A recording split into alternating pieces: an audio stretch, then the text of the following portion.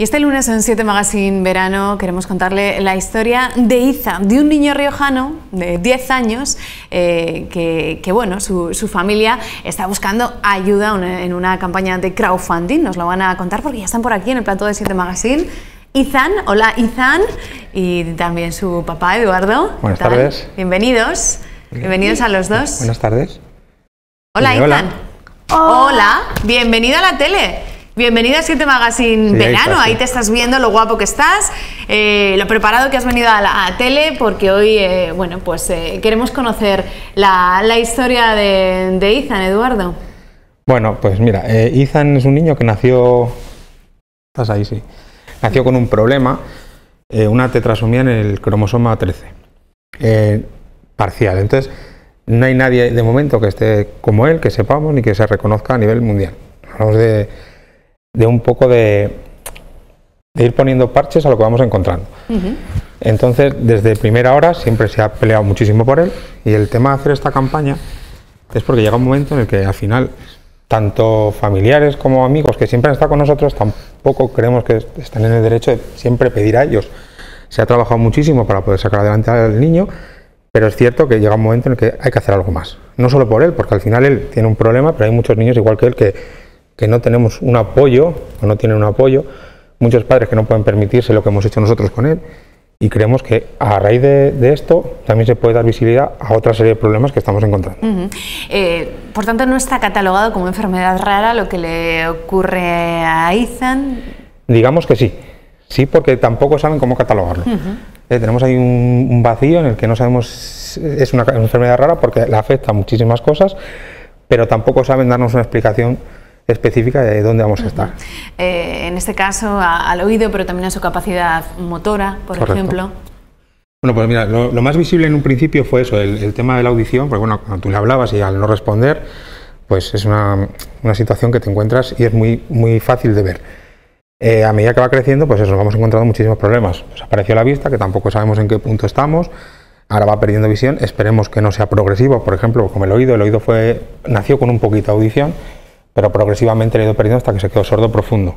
Que por eso se le pusieron los implantes cocleares. Gracias a eso, él hace una vida más o menos normal, nos oye, nos entiende y bueno, nos vamos, eh, nos vamos manejando con él. Eh, en este caso, eh, habéis querido lanzar una campaña de crowdfunding. bueno, estáis solicitando ayuda económica para algo muy concreto, que es para un implante coclear. Estamos hablando de unos 10.000 euros. Eso es.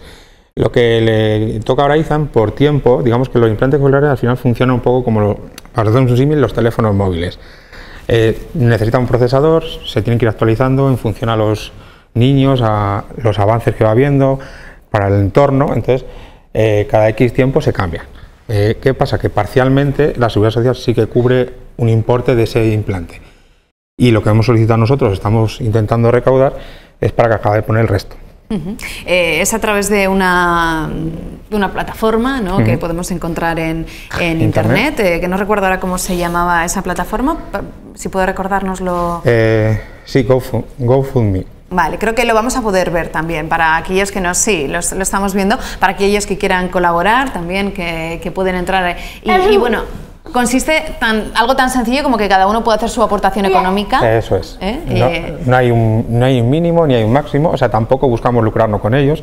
Simplemente lo que, lo que queremos es conseguir lo que necesitamos para IZAN, eh, intentar, lo que comentaba antes, que se dé un poco de visibilidad a todos estos niños con problemas y que otros padres que están en la misma situación que nosotros, pues que se animen a a pedir ayuda, que muchas veces nos cuesta. No va mal porque ya esta, tarde que, entraba yo a esa página web llevan 3.500 euros. o sea que... Estamos muy bien, eh, estamos muy contentos.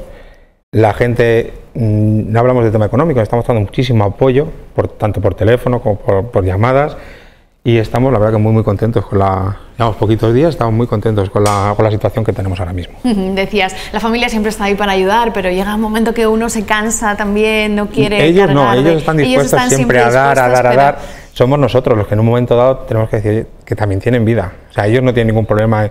Tampoco son familias, eh, vamos a hablar en nuestro caso, son familias que tengan unos recursos importantes de dinero, son trabajadores como cualquier otra persona, pero sí que es verdad que siempre han estado ahí a ayudarnos. No tenemos ningún problema, pero llegado a este punto sí que necesitamos un poco más. Y ese poco más no por dinero, pero sí por, por nosotros mismos también. El apoyo y la visibilidad también, ¿no? De, de, esta historia de Izan que hoy hemos querido contar y, traer hasta a la tele, a las 7 de La Rioja, a este programa. Así que nuestro apoyo también para que, eh, bueno, pues llegue ese dinero, esa cantidad, porque tú decías, ha habido momentos que, que, has tenido hasta tres trabajos, ¿verdad? Eso es, no es fácil para una familia, además tenéis otro hijo. Correcto, eh, se compagina dentro de lo que se puede, al final no atiendes a la familia, no atiendes a los trabajos, podemos decirlo así, cuando trabajas en dos, tres sitios, eh, algo falla, algo falla porque los cuerpos están para lo que están. Entonces, bueno, se ha hecho durante el tiempo que se ha tenido que hacer, se seguirá haciendo durante el tiempo que sea necesario, pero sí que es verdad pues que, también necesita pasar tiempo con nosotros, entonces si estás trabajando para poder dar un soporte,